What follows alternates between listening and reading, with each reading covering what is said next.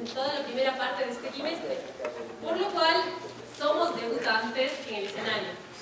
Entonces, les pido por favor mucho silencio y mucha atención para todo el trabajo que vamos a hacer.